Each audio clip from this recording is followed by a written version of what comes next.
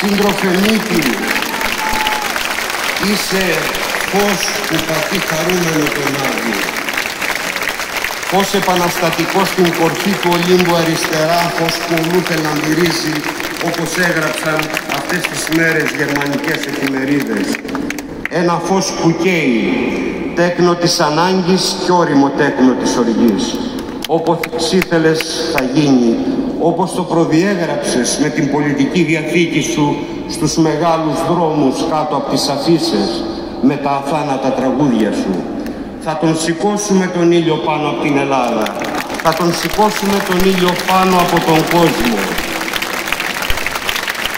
Όταν απόψε το πλοίο θα σαλπάρει από τον Πειραιά για να διασχίσει τα γαλάζια νερά της ελληνικής θάλασσας για να σε οδηγήσεις στην τελευταία σου κατοικία, στον τόπο καταγωγής σου, στο Γαλατά Χανίων, στην αγαπημένη σου Κρήτη, σύμφωνα με την επιθυμία σου, όλη η Ελλάδα θα σε συνοδεύει με τα τραγούδια σου, γιατί για σένα, για να δανειστούμε στίχους από το μεγαλείο του Σολομού, ο ουρανός καμάρωνε και η γη χειροκροτούσε. Αθάνατος Μίκη, καλός σου ταξίδι.